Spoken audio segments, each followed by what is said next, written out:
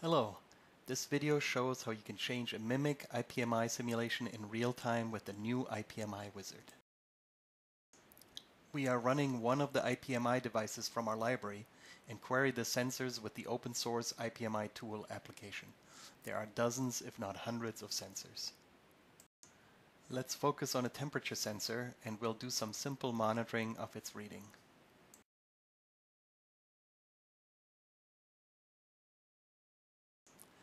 We'll use the IPMI tool sensor reading command in a loop. Your application would monitor many sensors at once. We can see that the reading for the sensor is static. Most sensors, like temperature sensors, are fairly static and getting them to change in real life is not easy.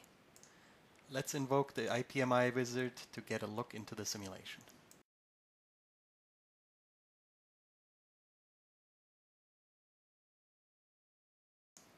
All the IPMI requests known by this simulation are shown in the hierarchical tree. Loading takes a while.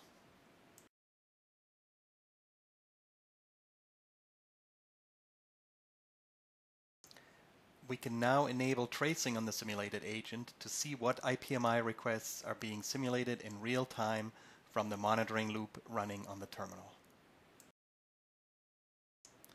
Let's stop it, else there's too much output in the log window.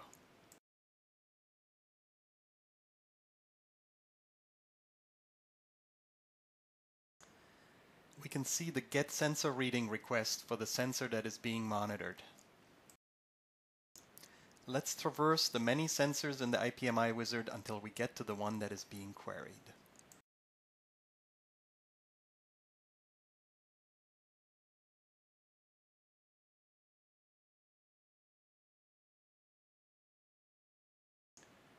We can see the value 41 being returned by the simulation.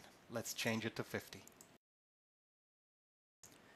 And of course, that's what the monitoring loop is getting from now on. As you saw, we can change any value in the simulation at any time. Of course, what is doable in the graphical interface can be done in a script to create the exact conditions that you require.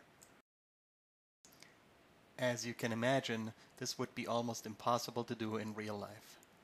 Thanks for watching.